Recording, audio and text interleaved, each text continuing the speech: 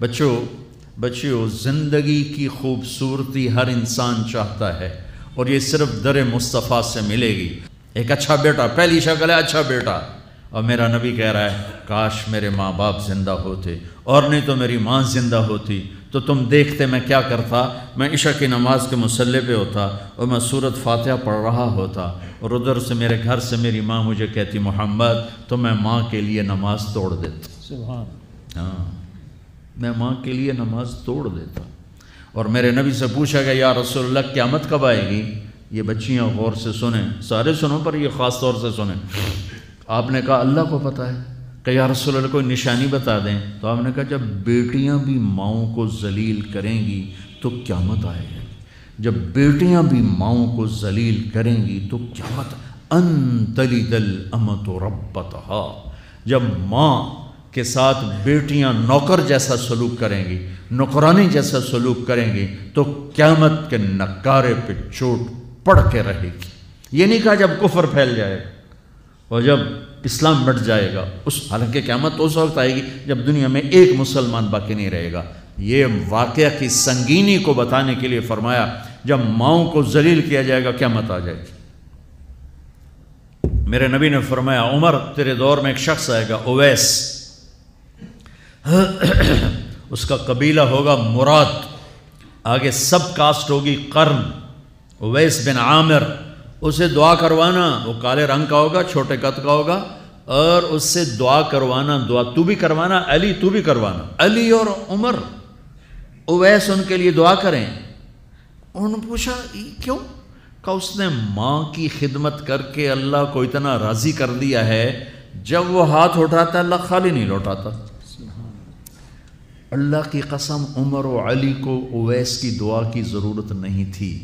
उम्मत को पैगाम देना था कि माएँ जलील हो रही हैं आज और बाप जवान औलाद से छुपते फिर रहे हैं।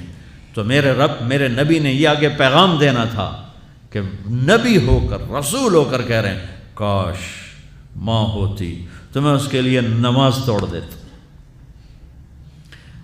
आपको आठ औरतों ने दूध पिलाया। वालदा समेत। उनमें एक उम ऐमन भी हैं, आपके वालिद की बांदी। तो घर में तशरीफ़ फरमा थे उम ऐमन बैठी थी। हज़रत आयशा तो उम ऐमन कहने लगी, या रसोल्ला पानी तो पिला दें। तो अल्लाह के नबी एकदम उठे। तो हज़रत आयशा नाराज़ हो गई। उम ऐमन, अल्लाह का रसूल को कहती पानी पिला। कहा तो और क्यों ना कहूँ, मेरा बेटा है, मैंने दूध पिलाया तो हज़रत, मेरे नबी ने कहा हाँ हाँ आयशा ये मेरी माँ है। इसका मैंने दूध पिया है।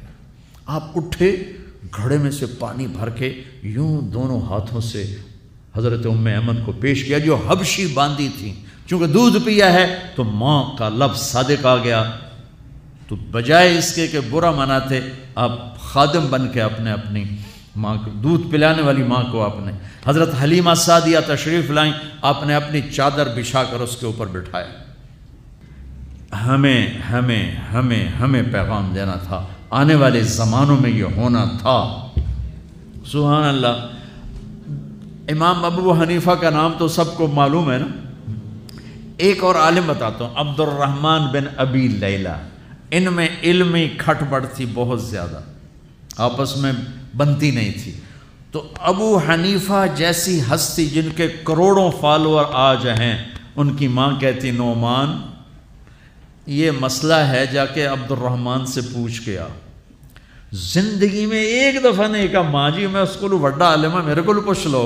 कहा अच्छा माँ जी, अपनी चादर उठाते और पहुँच जाते, दरवाजे पे दस्तक दे के, भाई, मुझे मेरी अम्मा ने भेजा है, आप इस पर फतवा हालाँकि उनकी अपनी राय उसके ख़िलाफ़ होती थी, लेकिन माँ के एहतराम में जाकर उनसे मसला पूछते, जिनसे रोज़ाना मुनाजरा होता था। रोज़ाना खटपट होती थी, इल्मी। माँ ने कह दिया जाकर उनसे पूछ के आते थे। अपने इतनी बड़ी इल्मी कदर मंजिलत को एक तरफ़ रख देते थे। नहीं, मेरी माँ ने मुझे कहा है।